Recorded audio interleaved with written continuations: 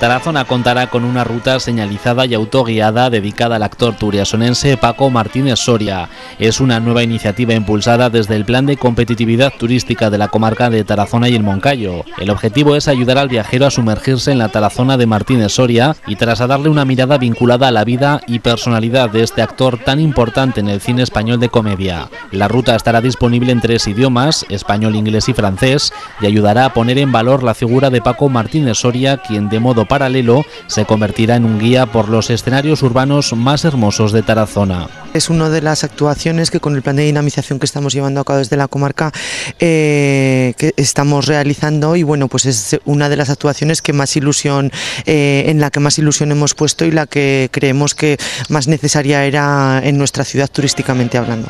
Eh, Paco Martínez Soria es una figura pues bueno como sabéis de muy importante para la ciudad.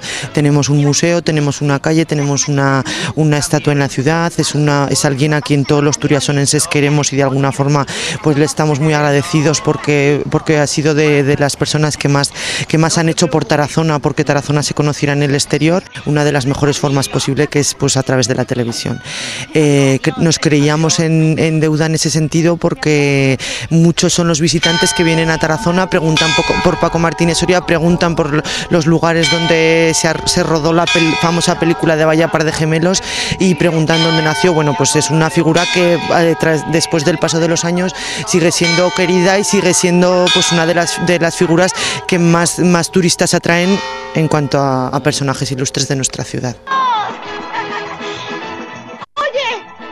Los contenidos de la ruta tendrán un hilo conductor a partir de la vida real del actor y la ficticia de la película Vaya par de gemelos, rodada en diferentes enclaves de Tarazona, desde su figura en la calle que lleva su mismo nombre al antiguo bar Tres Pies del Gato ahora desaparecido, pasando por la Plaza de España donde estuvo su casa natal y aún existe el bar donde jugaba las cartas con sus paisanos. Esto permitirá jugar con el argumento de fondo de la cinta, en el que se desarrolla toda una trama dual de verdad y ficción, con textos breves cargados de humor y con guiños que le doten de actualidad.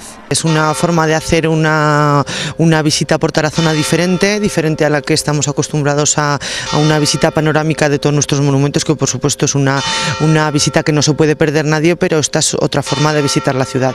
Serían diferentes puntos que tienen relación tanto con la película como con su vida personal y sería pues eh, un, hilo conductor a través de la película de Paya Par de Gemelos, un poco quien nos guiaría a, por la ciudad para, para conocer la ciudad y el personaje el itinerario en el que se colocarán entre 15 y 18 señales se realizará a partir de la biografía de Paco Martínez Soria, así como de los escenarios reconocibles que aparecen en esa película. Un itinerario que se concebirá en clave de gran plató, con un espacio en el que comer, comprar, descansar, en definitiva un elemento más en la construcción del producto turístico global de Tarazona. Ya se has cachado otra vez.